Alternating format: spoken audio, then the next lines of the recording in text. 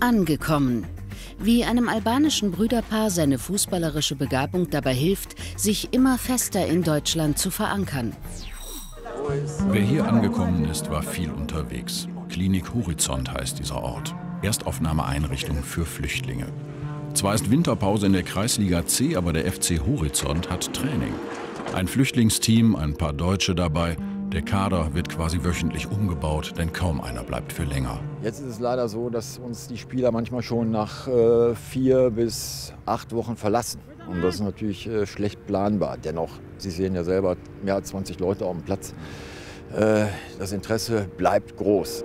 Viele glauben, wer hierher kommt, wird entdeckt. Darüber gibt es sogar einen Trickfilm.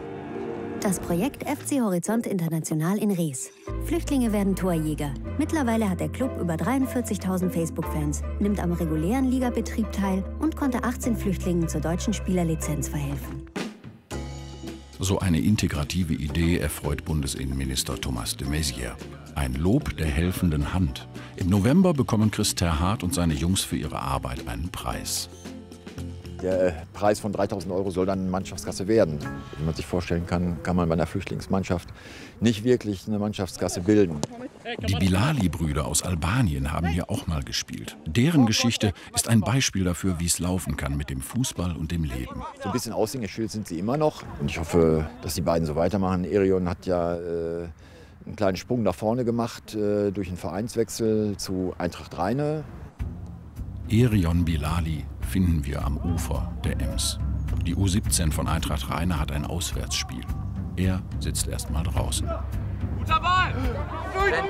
War krank unter der Woche, hat das Wort Grippe gelernt. Erion hört genau hin, Deutsch ist schwer, Fußballdeutsch ein Mysterium. Guck mal, Nico Lang zwischen den Linien. Daniel 20 bitte. Und Jasper nicht breiter, bleib auf dieser Höhe. Jetzt schließen hinten Tobi rüber. Gezeichnet wird's deutlicher. Wichtig ist vor allen Dingen defensiv. Ja, das heißt, wenn der Gegner den Ball hat, hier die 4. Das ist dein Raum, dieser Bereich. Ja, nicht hier vorne, nicht da, sondern wirklich da vorne. Okay? Für die Standards. Ja? Das ist halt äh, noch das kleine Problem daran im Prinzip, dass man da merkt, gerade wenn wir Richtung gruppentaktische oder mannschaftstaktische Abläufe halt gehen, dass es dann Verständnisprobleme einfach gibt. Ja, ähm, nichtsdestotrotz ist Erion da auch immer aber der Erste, der dann fragt bzw. das dann auch umsetzen will.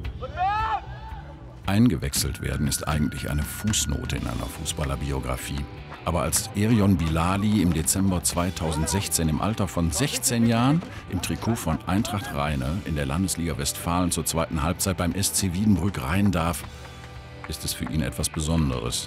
Noch vor einem Jahr unvorstellbar. Erion stammt aus Albanien, einem der ärmsten Länder Europas. Mehr dazu gleich. Jetzt muss Erion erstmal mithelfen, am unbefriedigenden 0 zu 0 etwas zu ändern. Über rechts. Oder über Standards. Der hier könnte den Sieg bringen.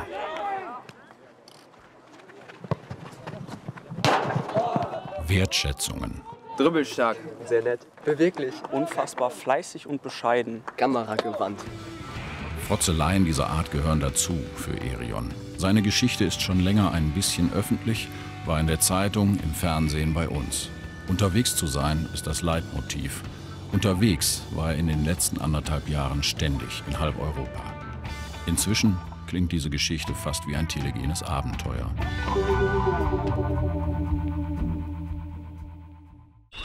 Das in Tirana zur Zeit des Besuchs von Angela Merkel bei Regierungschef Idi Rama beginnt.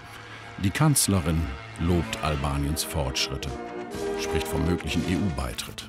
Sie lobt Albanien als Land, aus dem man nicht mehr fliehen muss. Ein Land, in dem Erion mit dem großen Bruder Elidon plötzlich völlig allein ist. Die Mutter tot, der Vater weg.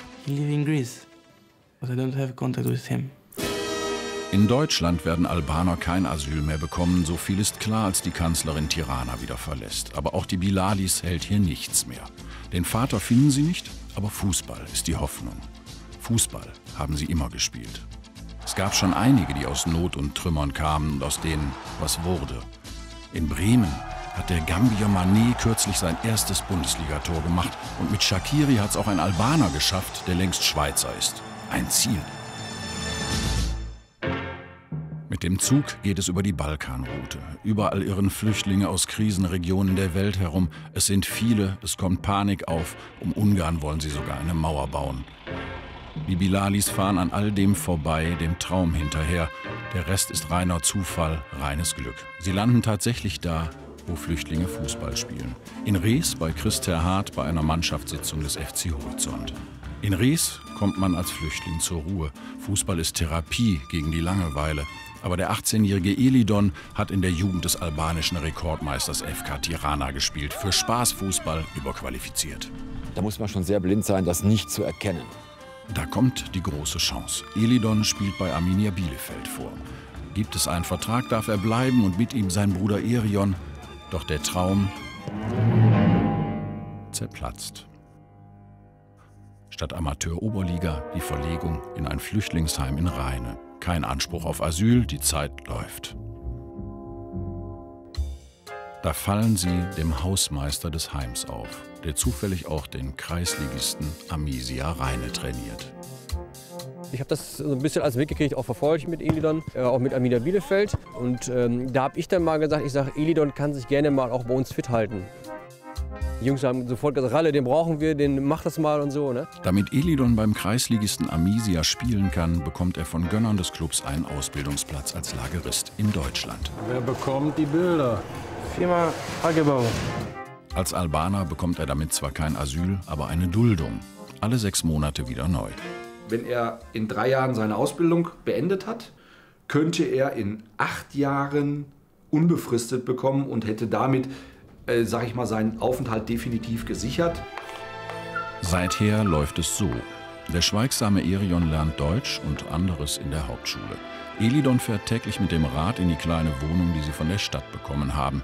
Die Bilalis, eine albanische Kleinstfamilie in Rheine. Wo die Amisia, aktueller Spitzenreiter der Kreisliga A Steinfurt, gerade das letzte Heimspiel vor der Winterpause austrägt. Erion ist eingetroffen, das 0-0 aus Wiedenbrück im Gepäck. Hier steht es 8 zu 2 nach 60 Minuten gegen den SC Reckenfeld. Maschine rollt!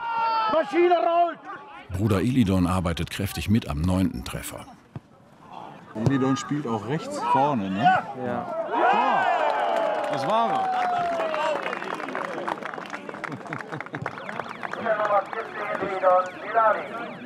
Das Wochenende verbringt ihr zusammen immer? Mit Fußball und was sonst noch? Laufen, Mhm. spazieren. Mhm. Kocht denn jetzt jemand inzwischen? Ja. Wer kocht denn? Manchmal nicht, manchmal er. Ich, ich koche Spaghetti, die einfach sind. Und was macht die Schule? Läuft richtig gut. Ja. Ja? Dieses Jahr mache ich einen Abschluss. Guter Mann, ja, gibt's nichts. Kommt sehr gut an.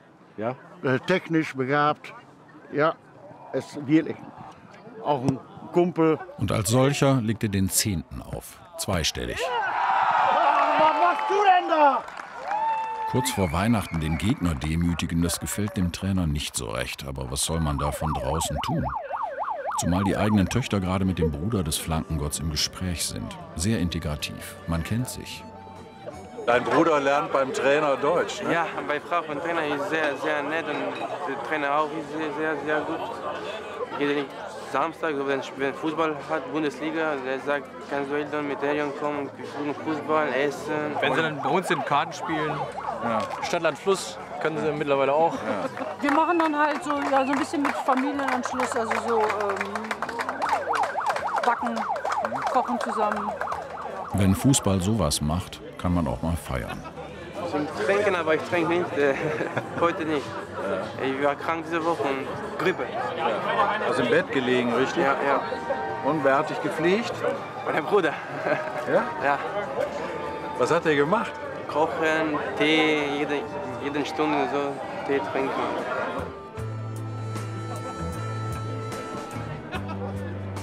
He ain't heavy. He's my brother.